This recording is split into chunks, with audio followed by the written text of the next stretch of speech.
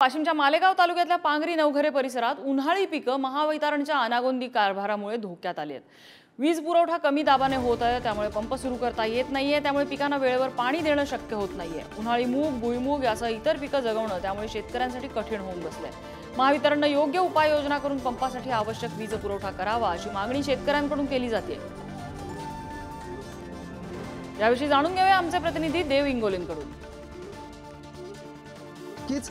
मालेगाव तालुक्यातलं पांगरी नवगरे हा जो परिसर आहे या परिसरातल्या शेतीला जो वीज पुरवठा होतोय तो अत्यंत कमी दाबाने होतो आहे आणि त्यामुळं शेतकऱ्यांना आपले जे शेतीपंप आहेत ते चालवता येत नाही आहेत आणि म्हणून मग जे उन्हाळी पिकं आहेत या पिकांना पाणी देता येत नाही आहे आणि पाण्याअभावी हे पिकं सुकत असल्याचं चित्र सध्या या परिसरामध्ये आपल्याला पाहायला मिळत आहे. आपण बघू शकता इथे हे जे पीक आहे हे उन्हाळी पीक आहे उन्हाळी मुगाचं पीक आहे आणि पाण्याअभावी अक्षरशः सुकत चाललेलं हे पीक आहे.